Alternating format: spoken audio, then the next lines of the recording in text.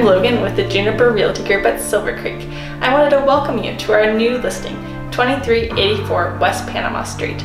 Located here on the Boise Bench, just minutes away from BSU in downtown.